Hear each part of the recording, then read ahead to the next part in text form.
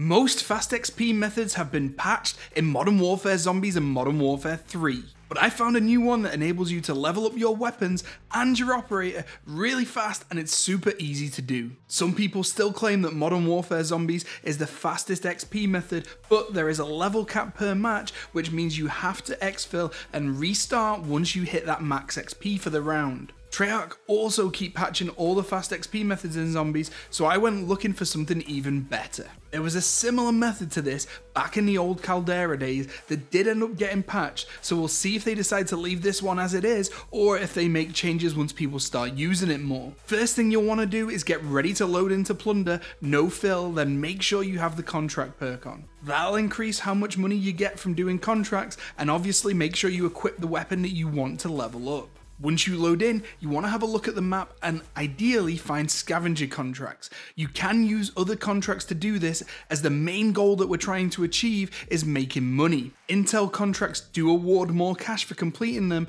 but I found people try to come attack you when you're doing them, which can be very annoying. By doing scavenger contracts, not only do you get a lot of XP for the weapon by completing it, you'll get a chunk of cash for doing it, as well as cash and rare items from each chest that you open. You'll want to make sure that you're keeping hold of all those items as you will need them later. Ideally, you've picked an area that has a few scavenger contracts and a buy station nearby, and you'll want to head over to the buy station to sell all your items. Once you've done that, you can then buy the credit card. This will just mean you will get more bang for your when you do this method. Then you can spend all your money on plates and you'll get an absolute ton of XP. Now there's a few other things to consider when you're doing this method to maximize how much you can get from one game. You can loot other regular chests as you go to find more valuables to sell to buy more plates. You can search cash drops if they come down near you and you'll want to try and make sure you save an easy contract for overtime where you'll get extra cash and XP.